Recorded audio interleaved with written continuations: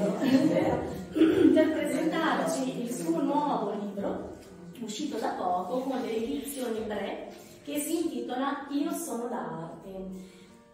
In realtà è il diminutivo, possiamo dire abbreviativo di D'Artagnan, che è il nome del suo gatto domestico, di cui appunto oggi ci parlerà. E tra poco appunto ci racconterà anche il contenuto del libro e gli aneddoti che sono riportati all'interno del, del, suo, del, suo, testo proprio sul comportamento di questo straordinario animale domestico, no? che è il felino. Proprio riguardo a questo, eh, al comportamento del felino domestico, abbiamo invitato oggi la professoressa Valeria Celli, che ringraziamo di aver accettato il nostro invito, proprio per introdurre questo libro, perché Valeria ha un'esperienza molto interessante proprio su questi animali, non solo personalmente, ma anche attraverso gli aneddoti e gli studi realizzati dal celebre entomologo Giorgio Celli, che vediamo qui in queste fotografie, prematuramente scomparso nel 2011 e che ha scritto vari libri importanti e famosi proprio sul comportamento dei gatti, oltre naturalmente che degli insetti di molti animali in realtà. Tra l'altro ha condotto per vari anni un notissimo programma televisivo che ricorderete nel Regno degli Animali, infatti sulla RAI, e quindi questa è un po' l'introduzione che ho fatto io brevemente, quindi prima di lasciare ancora la parola insomma, alle nostre relatrici, vi porto via ancora un secondo soltanto per informarvi, per chi non lo sapesse, ormai lo sanno tutti, che Chiara Vergani è insegnante, pedagogista e criminologa, collabora con varie riviste specifiche di questo settore, ha scritto molti libri sulle tematiche del bullismo, del cyberbullismo e problematiche psicologiche dei ragazzi minorenni tra cui lo scacco rosso, storia di bullismo, mai più paura, il bullismo spiegato a tutti, il mondo si è fermato, non voglio scendere, le voci della verità, la didattica a distanza e molti altri, ho citato solo questi che sono i principali, diciamo. Però questa volta ha voluto, quasi così come per prendersi un attimo di pausa, ecco, ha voluto un pochino mm, insomma, realizzare un testo più leggero, insomma, che, che possa affrontare invece una tematica insomma, per alleggerire un po' l'umore anche dei suoi lettori, giusto? e quindi oggi parleremo del suo affettuosissimo gatto d'Arti. Quindi io adesso passerei la parola alla professoressa Celli, così ci introduce sul tema di Giorgio Celli e poi passeremo la parola a Terra Vegani. Prego, grazie a voi. Allora, io ringrazio Anna per questo invito e ringrazio anche la professoressa Chiara sempre per avermi dato modo di ricordare mio zio. Mio zio era Giorgio Celli, io mi chiamo per l'appunto Valeria Celli.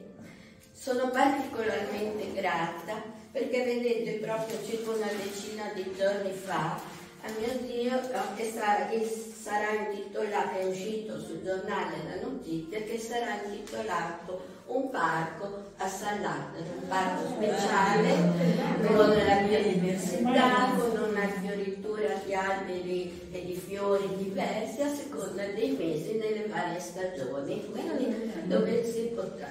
E oggi, cioè sui gatti, perché mio zio ha sempre amato due cose, la natura comprendendo adesso nel mondo romantico la natura come alberi, fiori, la terra, eccetera, e gli animali, ma soprattutto tra gli animali i gatti.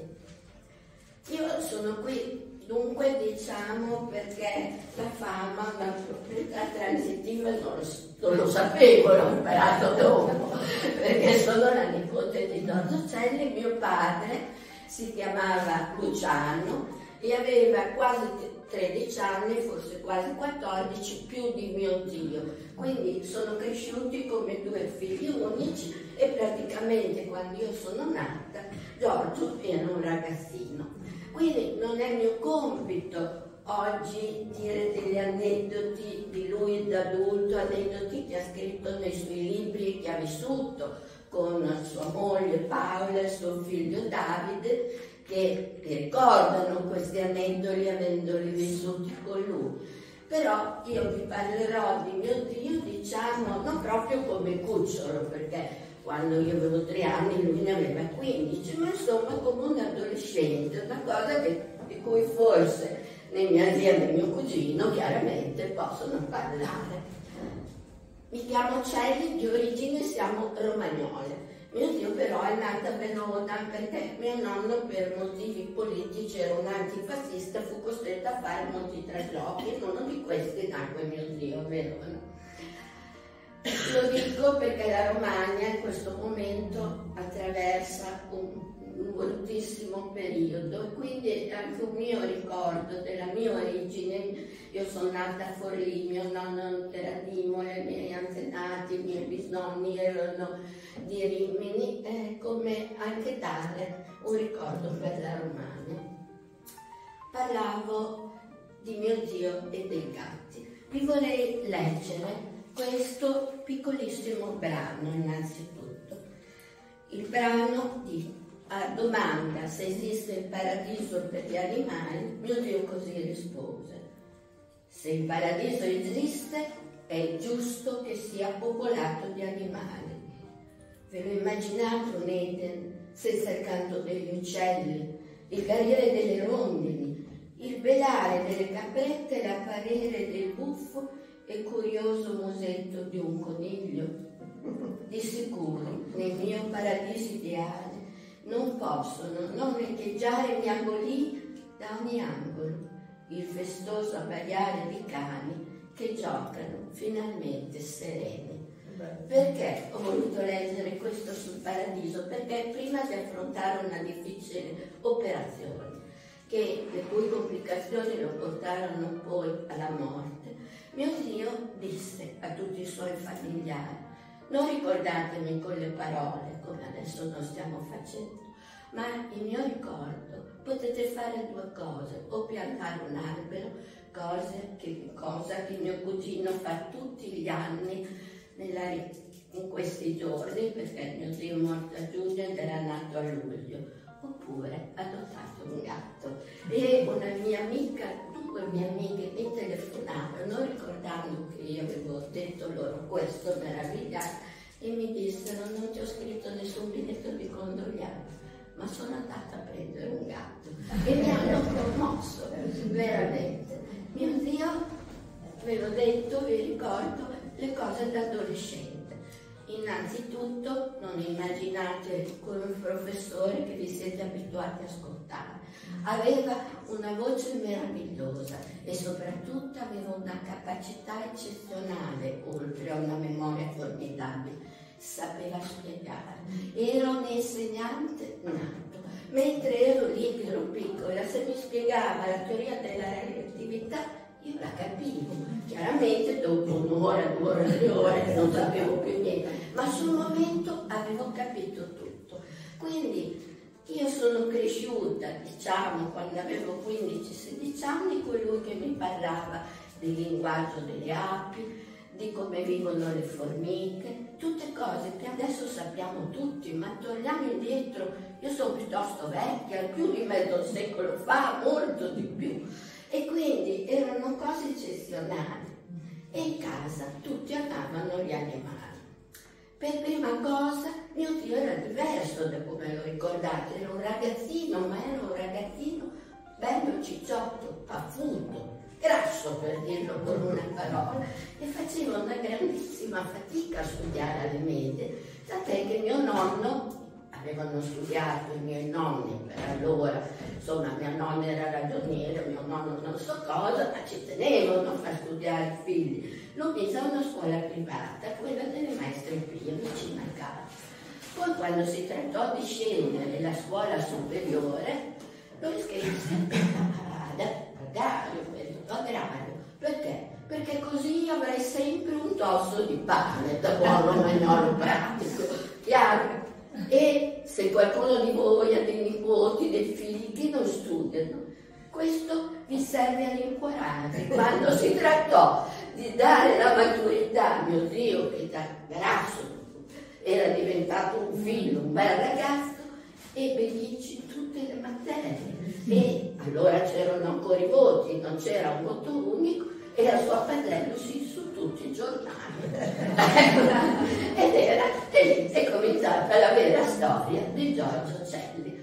Come ha avuto questo amore per gli animali? Perché Mio zio è stato tante cose insieme, dirle tutte come racchiudere un mondo. Ha scritto libri di poesie, testi di teatro, ha vinto anche il premio Pirandello, ha fatto sceneggiature di film, ha persino recitato in alcuni film, ha creato quella magnifica istituzione di Cesena in cui ci sono gli insetti buoni che servono a uccidere gli insetti nocivi e per cui anche a San Giovanni per 600 ha lavorato in questo senso del cittadino onorario in alcuni comuni, proprio per questo.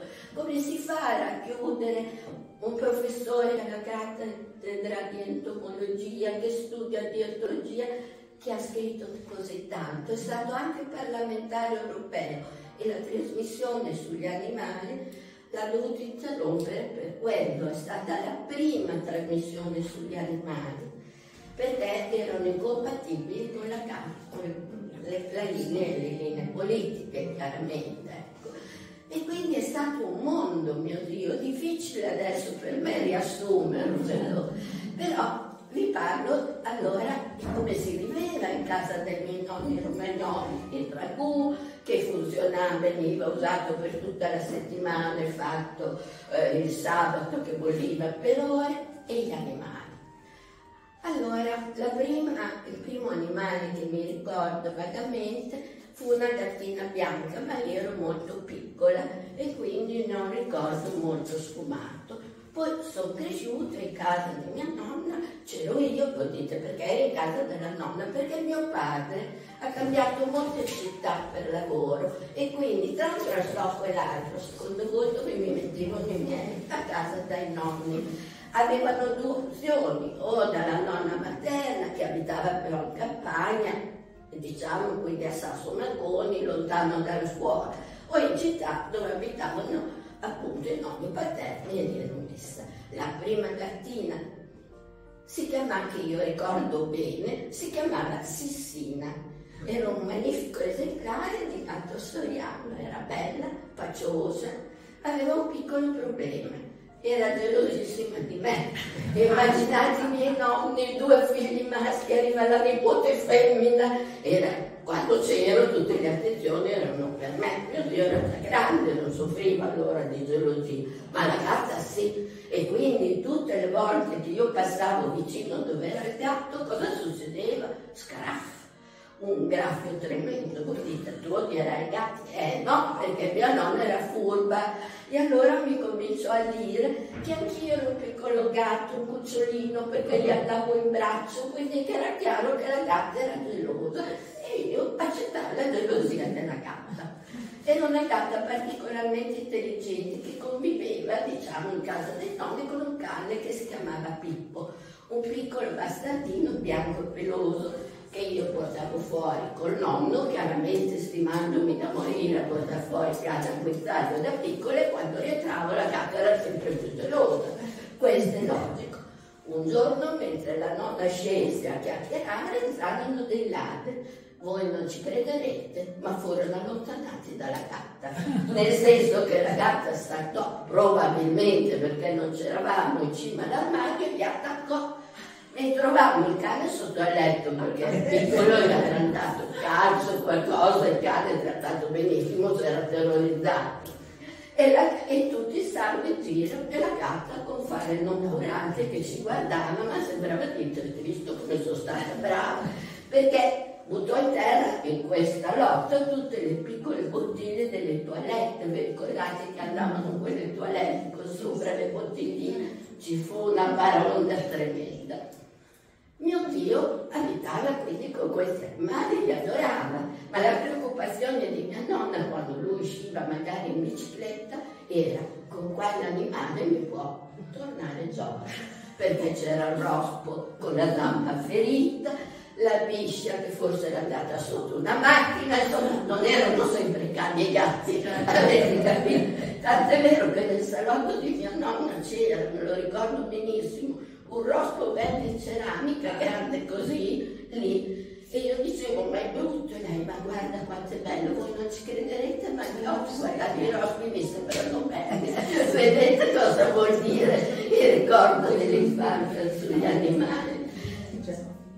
Continua. Eh, e quindi, però, il gatto più famoso della storia della famiglia dei miei nonni era un gatto totalmente bianco. Bianco aveva anche gli occhi gialli, quindi un gatto chiaro. Probabilmente un gatto albino, dico io, polpastrelli rosa, le orecchie rosa, si chiamava Trombino.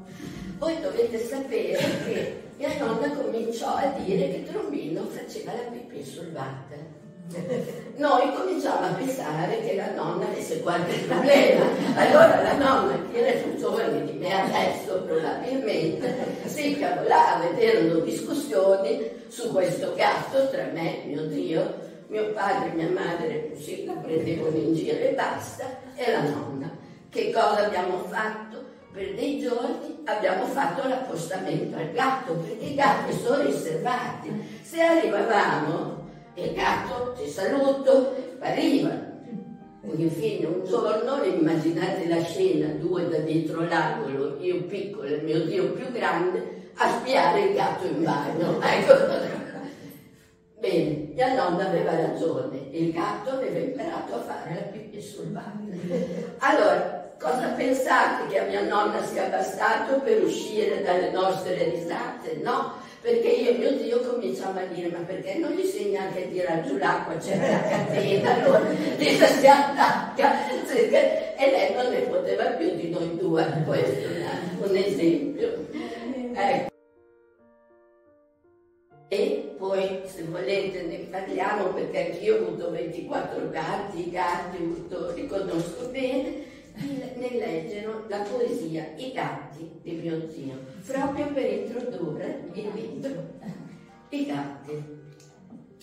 I miei gatti si rincorrono nelle soffitte della memoria, si tuffano nel miraggio dei pesci in bottiglie d'acqua turchina, sigillate da tappi a corona di un regno che non c'è attraverso pomeriggi senza mattino, giungono nella mia vita, puro sapienti, per offrirmi i loro saggi aforismi e sparire nell'insonnia che apre i suoi meandri interminabili nelle terre degli anni che non tornano.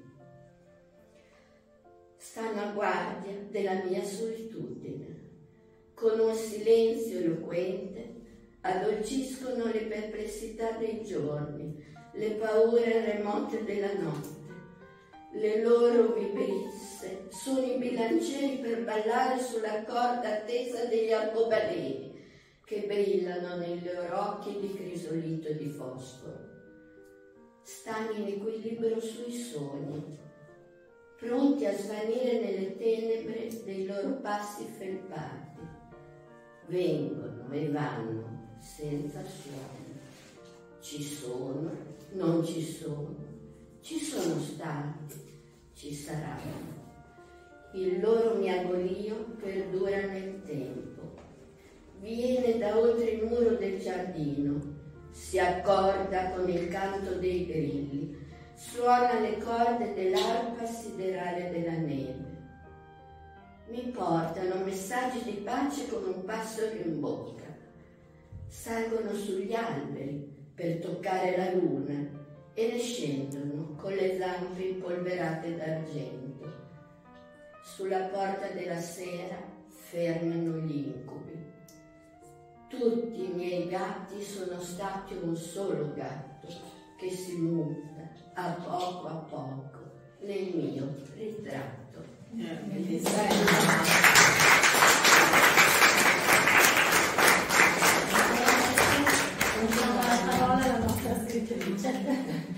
eh, mi chiamo Chiara Vergani, non l'avete visto, vi ringrazio intanto per essere qui numerosi, eh, ringrazio le organizzatrici per avermi invitata. Bologna è bellissima e ci sono tornata dopo alcuni anni molto volentieri, mi sono eh, commossa, come sempre si mangia bene nella vostra città, complimenti per la cucina io ho vissuto qualche anno fa a Ravenna, quindi ero solita eh, venire anche a, a, Bologna e eh, mi piace molto questa location che avete, veramente meravigliosa, studiata nei minimi particolari, si trasuda arte, storia, cultura e, e quindi è davvero molto caratteristica e in un luogo delizioso, perciò vi faccio davvero i complimenti. L'introduzione della professoressa è stata non da meno, non da meno perché non solo abbiamo ricordato il professor Celli, illustre, ma anche eh, abbiamo celebrato molto bene i gatti, vero? Eh, e io ho voluto celebrare il mio Micio che ora ha 11 anni con questo testo, è l'unico autobiografico e sarà anche l'ultimo eh, perché di solito scrivo saggi eh, sui temi sociali, quindi sulla violenza contro le donne, per esempio Libere dall'inferno, il mai più paura sul bullismo, altri sulla didattica a distanza, ne uscirà uno sulla resilienza, insomma sono un po' quelli i miei temi bipolari umbilico rivolti mh, al, al, sociale, ma eh, ho voluto eh, raccontarmi attraverso la vita che vivo vera col mio gatto, eh, perché solo lui forse mi conosce così profondamente, perché solo gli animali ci percepiscono ancora più degli umani nella, nella nostra essenza più, più vera e D'Artagnan come racconto è arrivato in casa mia circa 11 anni fa. L'hanno portato mio figlio e l'allora sua, sua ragazza, adesso è sua moglie, poi è diventata compagna poi moglie, ecco, e io non lo volevo assolutamente perché viaggiavo tantissimo, tutti i weekend in giro con libri, conferenze, quindi ho detto No, no, no, ho detto io un gatto non lo posso avere. Allora mio figlio ha detto, mamma, ma eri abituata da piccola, ne avevi tantissimi, sì, dico però dalla nonna c'era il giardino, così, qui siamo in appartamento, allora ero un po' titubante. E quindi la prima settimana sono stata un po' perplessa e dopo mi sono innamorata di questo gattino urlante che aveva due mesi circa, era nato in febbraio sotto il segno dei pesci, credo, dell'acquario, non so, um, e me l'hanno portato in aprile e, e quindi insomma un po', un po', alla volta mi ha, mi ha, rapito il cuore. Abbiamo avuto degli anni un po' turbolenti perché lui voleva dormire con me, io non volevo, lui grattava sulla porta, poi qui io racconto tutti i danni, eh, che poi dicevo a mio figlio mi ha fatto 6.000 euro di danni, le tende, i divani, eccetera ma diciamo che D'Artagnan alla fine ha vinto, ha conquistato il, il mio cuore e, ed è il mio migliore amico. E due cose, due fatti particolari, beh mi siedo così, insomma sono più eh, due, così sono più familiari, due fatti particolari hanno unito le nostre vite, sono state le malattie, una mia e una sua ho dovuto ricoverarlo in clinica per qualche giorno, quando andavo a trovarlo lui mi guardava come dire dove, dove mi hai portato in questa gabbia di acciaio, così aveva l'enflembo e poi l'ho riportato a casa, ho visto che era felice, poi sono stata un po' male io e quando sono tornata dall'ospedale lui mi ha eh, assistito amorevolmente, infatti avrei voluto intitolare invece che io sono Dardi, il gatto infermiere Ecco, non vi nascondo che è anche un gatto un po' particolare perché morde, si arrabbia facilmente, ecco, ha il suo, ha il suo caratterino, però mh, mm, direi che eh, è vero, è un libro autobiografico in forma di romanzo, però eh, nel mio mood, visto che ci sono i temi sociali, il focus un po' resta quello, infatti affronto un po' questa tematica dell'assistenza agli animali di cui manchiamo in Italia, vero? Perché eh, dobbiamo sostenere privatamente le spese se, se un nostro animale si ammala alte, non tutti se le possono permettere, insomma sono, sono sacrifici, quindi eh, l'anno scorso ho partecipato mh, a una trasmissione televisiva in Sicilia dove dicevano che avevano appena aperto una clinica per animali eh, dove si paga col ticket, insomma, ecco, come per noi, ehm, in provincia di Catania. Quindi spero che quella possa essere un esempio anche per costruire altre, altre realtà. quindi affronto un pochino questo tema e poi io direi anche quello fondamentale della pet therapy, eh, perché alla fine eh, forse siamo noi che abbiamo bisogno degli animali più che loro di noi, perché ho visto che anche i cagnolini, mio figlio ha due cagnoline, ho visto che alla fine eh, lui e sua moglie sono lì insomma sempre addosso a queste bestioline che loro, che loro adorano. E, c'è un veterinario che ha fatto la prefazione del mio libro, che so che è molto in contatto anche qui con, con Bologna, eh, che si chiama dottor Marino Parolin, che eh, ha raccontato un po' una, una, sua esperienza. C'è qualcuno che vuole leggere? Lo do a te. Leggere? Grazie. Scrivere la prefazione di un libro significa presentare al lettore un'opera di un autore, il cui pensiero è frutto di una riflessione personale contenente un messaggio per il lettore. Chi la scrive, quindi, ha il compito arduo di esprimerne la positività del contenuto, cercando di motivarla e avvalorarne l'interesse.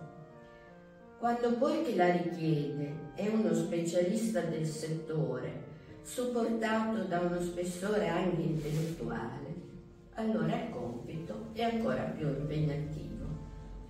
Desidero sottolineare che questo testo è permeato dall'amore della scrittrice, non solo per il suo gatto, ma per tutti gli amici animali, vegani, riesce a trasmettere le sensazioni che prova e i lettori si immedesimano nel suo vissuto, ritrovando una parte di loro stessi. Il concetto dell'essere gatto come creatura meravigliosa e vivente è ormai consolidato, come pure l'essenza della spiritualità che domina il suo comportamento affascinante. Fra gli episodi nella mia quotidiana pratica. Ne cito a esempio uno che è accaduto all'inizio della mia professione, in cui i supporti, anche diagnostici nel nostro settore, erano carenti, per non dire sconosciuti, e la cura era affidata all'esclusiva raccolta anamnestica ed esperienza clinica. Venne portato alla mia attenzione un gatto nero da un signore che mi manifestava una percepibile preoccupazione, oltre la normale richiesta dal caso. Ne chiesi la motivazione, visto che il gatto era affetto da una sindrome respiratoria a carattere febbrile, curabile con una terapia antibiotica mi rispose che suo figlio piccolo soffriva di insonnia e gli fu consigliato di affiancargli un gatto. Da quel giorno il figlio non solo riacquistò il sonno, ma i suoi comportamenti divennero meno ansiosi. Il gatto, quindi, era la farmacologia più efficace e costante, eliminando ciò che la farmacopea prescriveva nel caso specifico. Ecco, io penso spesso a questo episodio e lo cito ai miei colleghi in ambulatorio. Il gatto, questo essere vivente che ci guarda immobile, quasi ci giudicasse nei nostri atteggiamenti e che procede con dei movimenti felpati, quasi impercettibili, occupa spazi infiniti nella nostra vita quotidiana. La sua presenza stimola costantemente la nostra riflessione sui suoi pensieri, distogliendoci dai nostri momenti difficili. Si giustifica così la sua mistica figura rispetto alla divinizzazione nei secoli della vita dell'uomo. Anche in questo il gatto è un vero capolavoro dell'esistenza come lo definì Leonardo da Vinci. Vergani celebra egregiamente il suo d'arte, i minuti di D'Artagnan, eh? il cui carattere prende forma nelle pagine intense, da leggere tutte d'un fiato. Dottor Marino Parolin, medico veterinario. Grazie, grazie, grazie perché forse penso sia importante no, sottolineare questo aspetto di, di, di terapia eh, di, di, cura insomma, degli animali, di come agiscano sulla nostra psiche, di come ci aiutino a superare certi momenti. Per esempio la nonna di una mia amica ha superato un, un intervento molto grave al cuore ultra ottantenne perché doveva tornare dal suo cane. Lei diceva ho fretta di guarire, ho fretta, ho come si chiamasse eh, Lara, o Lara a casa diceva che, ecco, quindi insomma questo, questo aspetto è molto, molto importante. Dopo naturalmente io racconto anche delle cose scherzose e eh, troverete anche d'arti che ama l'arte perché eh, sì, qui ho fatto le prove, vi ho fatto vedere, vediamo se trovo la pagina, alcuni quadri ho fatto la prova e ho visto per esempio che ha una preferenza come me per l'impressionismo, ecco, chi ama l'arte da sempre. L'ho scoperto per caso osservare rapito un grande quadro alla parete della camera di Alessandro, mio figlio. Si tratta della riproduzione del ritratto di Manet con il gatto di Renoir. La presenza dei gatti nell'arte negli ultimi secoli si è connotata quale forma di affetto dei pittori verso i felini, oppure di carattere simbolico. Ho provato a mostrare ad arti dei quadri sul computer come quello di Goya, due gatti che litigano e anche in quel caso è rimasto fermo, immobile, attirato dalle immagini. Poi sono passata al dipinto di Make, lo spirito della casa, una natura morta col gatto. Incuriosita ho sottoposto altre opere alla mia palla di pelo maculato dai paesaggi all'astrattismo, al figurativo e ai miei adorati quadri dell'impressionismo. Darti rimane immobile a guardarli e quando io mi diletto a dipingere qualche acquerello, lui abbandona qualsiasi attività, addirittura diserta anche il pisolino e rimane estasiato a fissarmi. Che sia un gatto sensibile lo avevo capito dalle attenzioni che ha riservato al mio ritorno dal ricovero ospedaliero ma che amasse in modo tanto diretto l'arte, ho dovuto verificarlo nel tempo e ho constatato che addirittura si accorge sapendo una nuova opera alle pareti. Ebbene, credo che questo legame animale-uomo-arte rappresenti la caratteristica fondamentale dell'esistenza e nel mio piccolo amico tale triade si manifesta alla perfezione. Negli anni l'ho esposto a diverse tecniche pittoriche per capire se avesse delle preferenze. Mi sono resa conto che mi assomiglia in questo, ama l'arte nel suo insieme. Forse una leggera simpatia in più per gli impressionisti ce l'abbiamo entrambi. Mi piacerebbe che in questo libro trovassero spazio eh, vari quadri di pittori diversi. Ecco, lui immaginava, ho scritto quello, quello che, che immaginavo. Poi racconto anche di quando ho tentato di fare l'albero di Natale e eh, lo vedevo che dormiva, perciò io mi sono sentita tranquilla e ho fatto quest'albero di Natale, bellissimo, ero insomma tutta contenta, era rosso e bianco, topino verde e la mattina dopo mi alzo mentre bevo il caffè sento un colpo.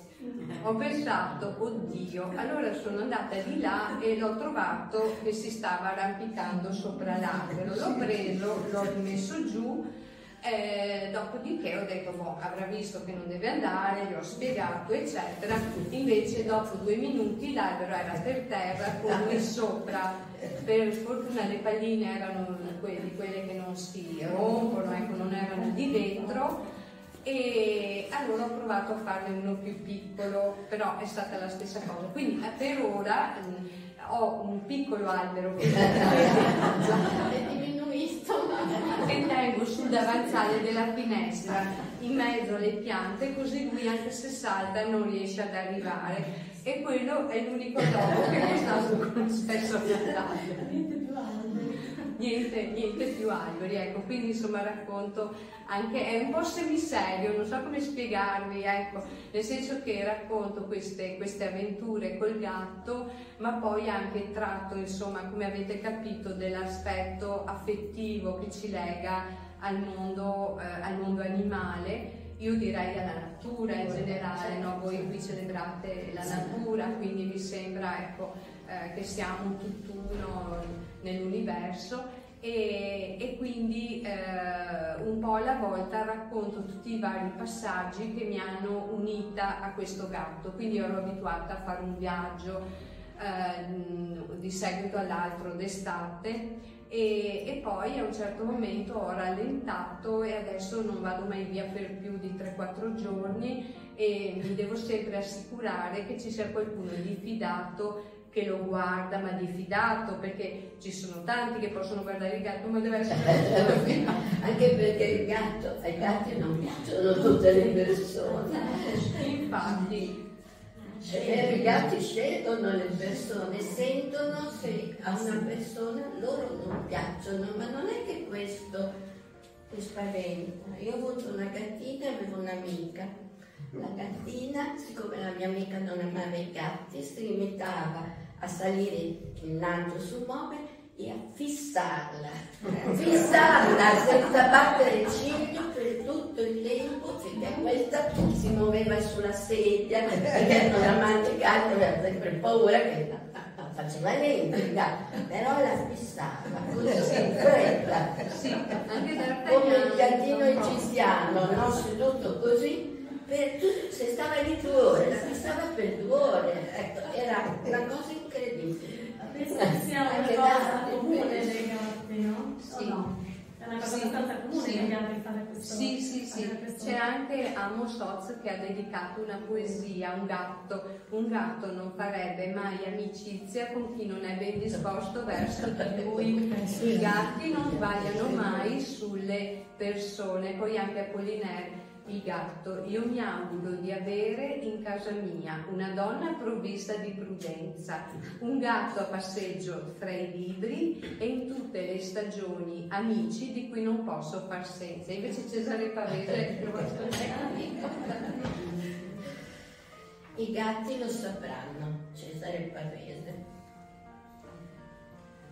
Ancora cadrà la pioggia sui tuoi dolci sel- selciati, una pioggia leggera come un alito o un passo. Ancora la bretta e l'alba fioriranno leggere come sotto il tuo passo quando tu rientrerai. Tra fiori e davanzali i gatti lo sapranno. Ci saranno altri giorni, ci saranno altre voci. Sorriderai da sola. I gatti lo sapranno. Udrai parole antiche, parole stanche e vane come i costumi smessi delle feste di ieri. Farai gesti anche tu. Risponderai parole, viso di primavera. Farai gesti anche tu.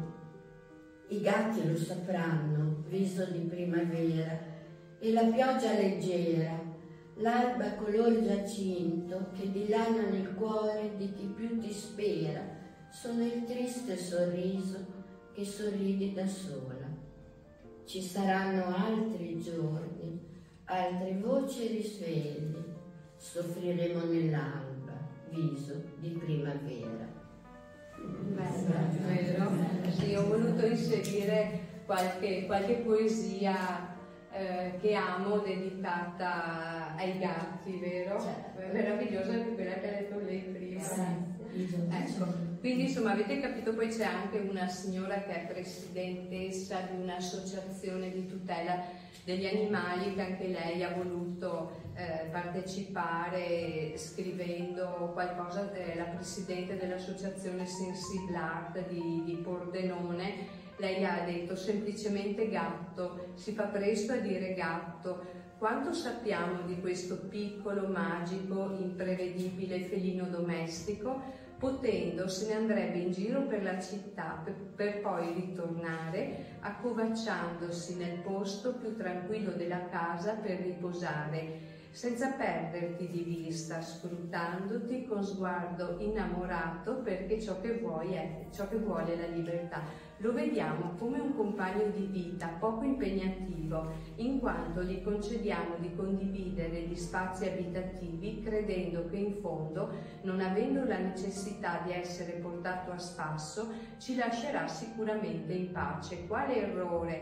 Gatto da appartamento, gatto di campagna, gatto randagio, insomma, se lasciato libero e rispettato diventerebbe il gatto di tutti. Il gatto nella preistoria faceva comodo all'uomo per il motivo che teneva lontani i topi dai raccolti di grano. Il gatto era considerato sacro dagli egizi, la cultura nipponica invece vede, il gatto essenzialmente come una creatura nobile, ricca di bellezza e di spiritualità. I gatti, creature enigmatiche che molte persone faticano a capire. Una peculiarità che accomuna tutti i gatti, pur avendo caratteristiche diverse, è avere lo stesso antenato, il felino selvatico africano, un abitante del deserto. Ma un'altra cosa particolare, gatto e tigre non sono uguali, tuttavia il DNA è identico al 95%. Capite ora cosa avete in casa? Una straordinaria creatura che simula attacchi, morde, graffia, fa gli agguati balzando da una superficie all'altra. Esatto. Infatti mio figlio dice sempre eh, i gatti hanno il cervello come quello di una tigre, perciò loro pensano di essere una tigre, ecco perché ci fanno gli agguati, tentano di aggredirci, a volte ci mordono, perché sì, in miniatura sono delle, delle piccole tigri, poi ci sono quelli col temperamento più tranquillo, D'Artagnan non è mai stato tranquillo, mordeva da piccolo, continua a mordere, io lo accarezzo, lui è buonissimo, all'improvviso morde, infatti ho sempre qua. infatti siamo riconoscibili noi, vero? noi gattari. Dicono che mordono quando sono... Non ha detto che oggi era in tv. E tu hai uno, io accendo e vedo beh, perché l'avevo vista solo in una piccola foto. ci va spesso eh, ci va spesso ma è stato un segno io insomma, siccome ho un carattere un po' adolescenziale, se non infantile, detto come fa a essere da tutte e due le parti? Poi mi sono sgridata, ovviamente, mi sono sgridata da solo. Però è la prima cosa, è un libro delizioso, veramente bello e vi voglio dire che quando si parla di gatti tutti dicono anche il mio, anche il mio, ma mio Dio diceva sempre, non ci sono i gatti, c'è il gatto, perché ogni gatto esatto. è diverso dall'altro, pure nella sfumatura, nell'approccio al padrone, e l'ha sempre detto. E...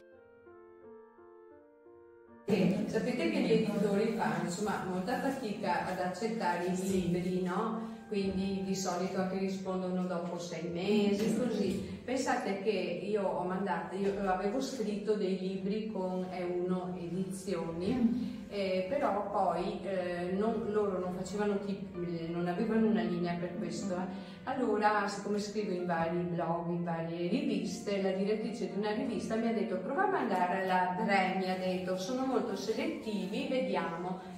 E insomma io ho mandato di domenica questo, questa bozza di questo libro, dopo due ore avevo messo sì, il, la mia mail, naturalmente il numero di telefono, dopo due ore questo signore mi ha telefonato di domenica. Ci sono rimasta e mi ha detto, sa, dice, ho un gatto anch'io, ho voluto dare una sbirciata, mi ha detto lo pubblico, mi piace. Sì, e ho capito che probabilmente insomma è un mm, tema che prende molto le persone, anche se non vi nascondo che il mio libro più venduto, ve ne avevo una copia, prima l'ha comprato qualcuno, è Bipolare in bilico. Ah, sì. Ecco, ce l'ha signora. E sto scrivendo un secondo libro su quell'argomento, me l'ha chiesto appunto questo editore, assieme a un'avvocatessa perché sto così vi racconto quello che sto facendo insomma, per il futuro.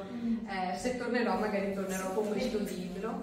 Eh, praticamente io eh, quando scrivo dei libri eh, eh, tratto sempre una parte scientifica traduco le ricerche fatte di solito in America non per esterofilia piuttosto perché in Italia le ricerche sono di tipo eh, trasversale sul qui e ora, mentre in America sono longitudinali, quindi ci sono degli studi che durano anche 20 anni e in certi settori interessano le conseguenze, per esempio bullismo, per esempio ecco, le patologie mentali.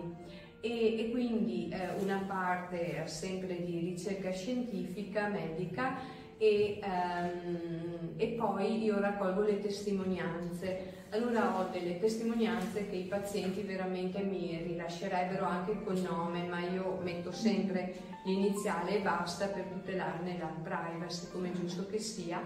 E, e allora ho chiesto a un'avvocatessa di collaborare con me per scrivere eh, la parte inerente alla la legge, cioè come eh, la legge tratta la patologia mentale, perché per esempio mi è stata rilasciata una testimonianza da un signore dove inizia a parlare di tribunale, perché loro hanno dei periodi di alta e di bassa l'umore e così, e quindi è molto interessante insomma anche capire, perché, perché tante persone soffrono di questo disturbo, ecco è interessante capire come, eh, come, aiutare queste persone perché penso che una diagnosi precoce possa migliorare la qualità di vita perché si trova più velocemente la, la cura. Ecco, quindi quello è un lavoro, un altro lavoro che sto facendo è sulla resilienza e ho coinvolto anche dei ragazzi di, di scuole, io spesso faccio conferenze a volte online perché sabato scorso dovevo essere a Salerno ma l'ho fatta online, quindi dicevi di Salerno non arrivavo perché poi martedì dovevo essere su nel nord di Pordenone, allora insomma devo anche insegnare, faccio meglio che posso. E, e quindi eh, per esempio mh, i ragazzi hanno fatto tutto un progetto, un lavoro sulla guerra eh, quindi sulla reazione al, ai disturbi che, che, si possono avere anche a livello psicologico in una guerra. E quel lavoro lì mi ha anche servito per scrivere professione docente in tempo di guerra perché Sembra di no, però gli insegnanti che devono accogliere dei ragazzi che arrivano dall'Ucraina ma anche da altre realtà di guerra eh, a volte mh, sono disorientati, non sanno, devo parlare di questo argomento, devo fare a meno, devo far finta di niente, no? Allora lì ho cercato di spiegare anche in base all'età come è meglio rapportarsi, perché eh, questo anche per quanto riguarda il bullismo, se c'è stato un episodio grave, comunque c'è un disturbo post-traumatico da eh, attenzionare, da tenere in considerazione, quindi da eh, tutelare la persona, da non parlarne se non è lei a parlarne, da avvicinarsi con le dovute maniere, da annunciarsi, eh, perché spesso può avere dei flashback, dei ricordi di, di, quello, di quello che ha vissuto. Ecco, quindi come capite a me interessa sempre la parte umana e mentale di, di qualsiasi eh, tema sociale io tratti ehm, in particolare la, l'abilità della mente umana, come, come, si muove la mente, perché sembra che possiamo essere tutti uguali e anche noi stessi sempre uguali, invece in realtà eh, possiamo scoprire anche a una certa età delle caratteristiche nostre diverse, possiamo eh, cambiare, possiamo accettarci eh, maggiormente e, e, quindi insomma ecco questo è un po' il mio, il mio mood. E quindi eh, per esempio in Mai più paura, questo sul bullismo, ci sono tutti i miei interventi televisivi, entravo al telegiornale, sono entrata per tre anni, poi non sono stata bene, mi ero come vi dicevo un po' rotta braccio e gamba così, allora poi sì, collaboro ancora però meno intensamente e magari ecco, vedete come delle pre, con delle pre-registrazioni come in Rai questa mattina e, e quindi eh, quello è frutto appunto de, degli interventi televisivi sul bullismo e sul cyberbullismo. eh, poi ho trattato tanti temi, altri eh, su cui sto preparando un libro che li comprenda un po' tutti, come per esempio le dipendenze sia da sostanze che da alcol, oppure la ludopatia, eh, le sette. Ecco, eh, sì, perché ho, una, ho avuto qualche testimonianza importante su questo e un altro delle cose un po' cominciate. Di solito a me piace iniziare e finire, però mi è capitato in questo periodo di avere tante cose iniziate che poi un po' alla volta finirò e eh, ho conosciuto, perché eravamo ospiti entrambi a una tra trasmissione televisiva, Yolanda Bonino, che è la presidentessa dell'associazione contro le truffe affettive. Mm. E lei è stata truffata e sì che è una donna che è stata anche sindacalista, quindi una donna bella tosta, però sapete ha avuto una truffa eh, penso sui social, è stata contattata da un signore che poi gli ha chiesto in realtà un sacco di soldi, non si è mai fatto vedere e quindi quando, quando ha capito ecco, di essere stata truffata ha fondato questa associazione, ha messo le basi un po' in tutta Italia e avevamo detto appunto di collaborare alla stesura di un testo, io insomma per adesso ho lì tutte queste testimonianze di donne, quindi insomma avete capito più o meno qual è il mio, il mio raggio d'azione. Allora vorrei farti una domanda Chiara per chiudere, eh, visto che tu ti occupi proprio di tutti questi argomenti che sono legati al tuo lavoro, quindi la psicologia, il, ramo che tu tratti, la criminologia. Mm. Eh, per concludere, visto che abbiamo parlato di gatti, eh, ci confermi che eh, comunque gli animali, che possano essere gatti, cani, qualsiasi tipo di animale domestico che uno possa tenere con sé in casa, sono veramente un aiuto anche per curare tante patologie? Sì, eh, sì, possiamo sì, confermare? Sì, io ho anche una tartaruga, si chiama Geltrude, ha 20 anni, è una tartaruga d'acqua eh, e non era più a suo agio nell'acquario, allora ho un terrazzino con, sapete, quei eh, lavabili di una volta di pietra, è molto grande, allora le, le, ho, le ho inventato questo acquario per lei e quindi sta lì è diventata insomma bella, bella, bella grande, allora D'Artagnan la va a trovare, non so come faccia perché percorre il bordo di questo lavandino e dico sempre adesso cade, adesso cade e invece caderà. I gatti hanno questo equilibrio perfetto, vero? Questo, questo equilibrio. E io insomma non, non, immagino la mia vita, la mia casa senza animale, ecco, e da piccola insomma sono cresciuta in mezzo ai gatti, tanto che mi ricordo che a Natale confezionavo dei vestiti per i gatti, non per le bambole, e mi ricordo tutti questi gattini piccoli nascosti, sapete quelle credenze di una volta nascosti? Volevano fare i vestiti. Ecco, quindi insomma sì, ho avuto una mamma che adorava tanto i gatti mio papà non è che non li adorasse, però deve essere successo, io sono arrivata tardi quella sera, non ho visto la scena, ma credo sia successo che lui eh, sia caduto perché probabilmente se 3-4 gatti gli sono allora io sono arrivata e gli diceva se tu porti ancora a casa gatti io porto topi porto conigli sentito non litigavano mai ma tutta questa discussione accesa questa. Comunque i gatti sono rimasti fino alla fine alla fine anche lui ne aveva uno denominato Porsi che era diventato il suo gatto quindi come vedete si era molto ammorbidito.